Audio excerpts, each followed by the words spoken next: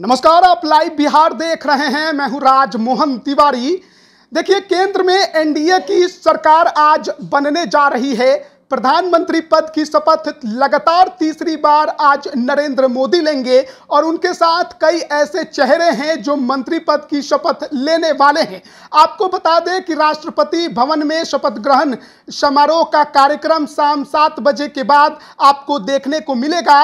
लेकिन उससे पहले प्रधानमंत्री ने आज अपने पीएम आवास में कई चुनिंदा सांसदों के साथ चाय पर चर्चा की है। देखिए, तस्वीरें हम आपको दिखा रहे हैं जब प्रधानमंत्री नरेंद्र मोदी पीएम आवास में उन चुनिंदा सांसदों के साथ बैठक कर रहे थे जब वो आ, कुछ बातों को लेकर वहाँ पर चर्चा करते आपको दिखाई दे रहे हैं। तमाम जो सांसद हैं उनके सामने बैठे हुए हैं लेकिन ये तस्वीर बहुत कुछ बयां कर रही है। शपथ ग्रहण समारोह से पहले इन चुनिंदा सांसदों के साथ बातचीत का मतलब ही है कि इनको बताना कि कैसे सरकार चलानी है। यानी कि ये तमाम नेता जो सामने बैठे आपको दिखाई दे रहे हैं, वो आज मंत्री पद की शपथ ले सकते हैं। जो खबर निकल कर सामने आ रही है, उसमें अगर बिहार से हम बात करें तो जो सांसद सामने बैठे हैं उसमें जेडीयू के पूर्व राष्ट्रीय अध्यक्ष ललन सिंह,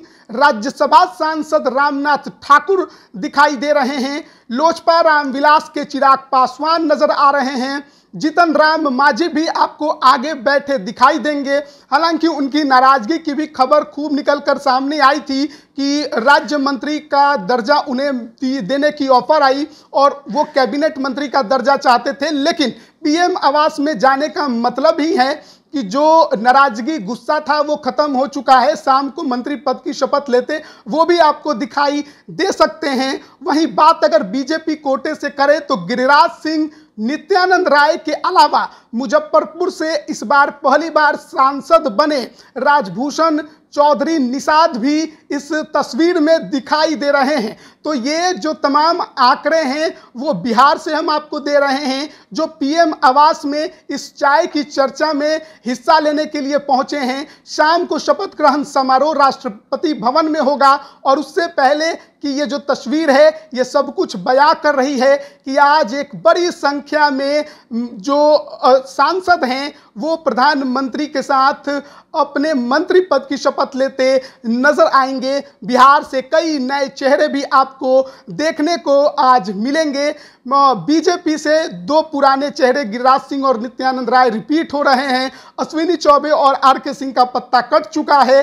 तो राजभूषण चौधरी निषाद, जो कि पहली बार मुजफ्फरपुर से सांसद बने हैं, वो भी इस बैठक में पहुँचे हैं। इस चर्चा में पहुँचे हैं मतलब वो भी मंत्री पद की शपथ ले सकते हैं, लेकिन लोजपा रामविलास के राष्ट्रीय अध्यक्ष, हाजीपुर के सांसद, अपने पिता की विरासत को आगे बढ़ा रहे, चिराग पासवान भी अब मंत्री बनने जा रहे हैं। और जदयू से एक राज्यसभा सांसद रामनाथ ठाकुर और जदयू के पूर्व राष्ट्रीय अध्यक्ष ललन सिंह की तस्वीर निकलकर सामने आ चुकी है। वहीं जीतन राम मांझी की भी नाराज़गी खत्म हो चुकी है। वो भी मंत्री पद की आज शाम को आपको शपथ लेते दिखाई दे सकते हैं। ये तमाम तस्वीरें जो है, वो बहुत कुछ बयां कर रही है। अन्य भी कई दूसरे राज्यों के सांसद यहाँ बैठे आपको नज़र आए होंगे और ये आप समझ सकते हैं कि किस प्रकार से इस बार जो एनडीए की सरकार बन रही है, उसमें सहयोगी दलों की अहमियत को भी तवज्जो दिया जा रहा है। तो हर किसी को इंतज़ार, बस आज शाम सात बजकर पंद्रह मिनट का है, जब वो ऐतिहासिक घड़ी आएगी, जब प्रधानमंत्री लगातार तीसरी बार प्रधानमंत्री पद की शपथ लेते आपको दिखाई देंगे नरेंद्र मोदी। बने रहिएगा हमारे साथ, तमाम अपडेट हम आप तक पहुँचा रहे हैं। आप सभी का बहुत बहुत धन्यवाद।